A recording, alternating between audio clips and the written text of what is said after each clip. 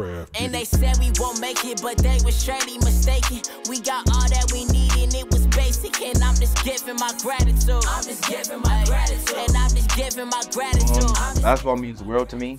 It's it's like it's crazy how much that that that round ball could really do on and off the court. It's kind of like my therapy for when I'm going through anything. Anything when anything gets tough for me, I could really just go out there and just forget all about it.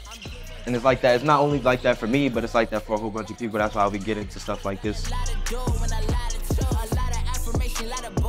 I was always watching basketball, but I first started playing around like seven years old. For those first few years, I really just tried to work on my game, figured out what I'm good at, what I could be good at, like what position I would be when I wanted to play. But like once I got into middle school, I started playing with PSA Cardinals that was fun. I had a lot of fun, learned a lot playing over there. Then I got into high school. I kind of bounced around uh, AAU teams a little bit. So my sophomore year, I left PSA and I went to go play with the New York Rens. Uh, we had a really good run, New York Rens. Um, made it all the way to the Final Four. My senior year of high school, we did really well. Uh, ended up being back-to-back state champions. And that was really a goal of mine ever since I was in, ever since I started playing. Then now, now I'm at St. John's, ready to take on my new, my new journey.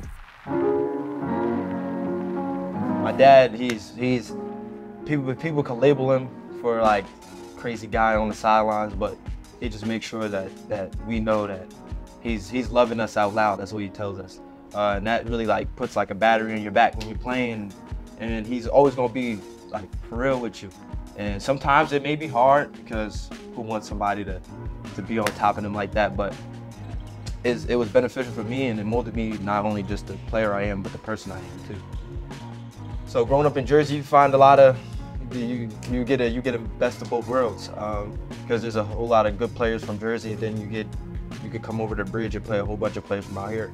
So it's kind of like the best place for you to be if you want to be a basketball player because you can get the grit and all that stuff that you that that comes with playing playing in New York and playing in New Jersey, like, it's really beneficial if you really want to take your game to the next level.